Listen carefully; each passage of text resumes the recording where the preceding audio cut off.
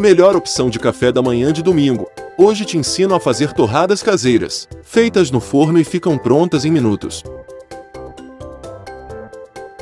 Para começar, em uma vasilha, adicione um ovo inteiro.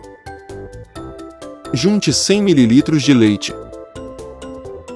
Misture bem todos esses ingredientes para que se unam e virem um creme esbranquiçado. Adicione 10 ml de essência de baunilha. Adicione 5 gramas de canela em pó. Continue misturando para que dissolva toda a nossa canela e vire uma mistura homogênea.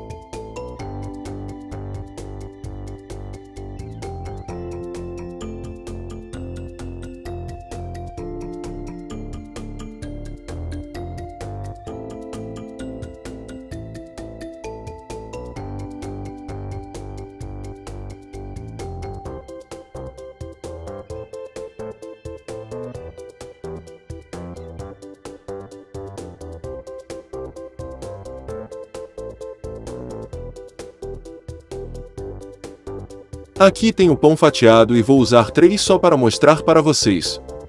Faça igual estou fazendo, mergulhe na nossa mistura para que o sabor seja bem passado para o pão.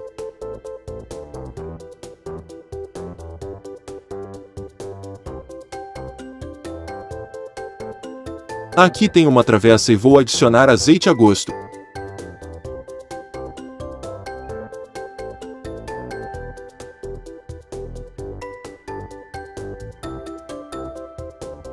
Com a ajuda de um pincel, espalhe tudo muito bem para untar toda a travessa. Agora adicione os pães na nossa travessa.